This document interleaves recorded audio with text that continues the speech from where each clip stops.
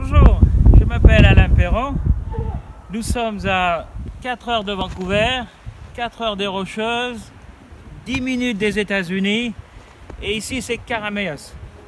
Si tu es intéressé de travailler dans un verger biologique au Canada, nous avons du travail pour toi.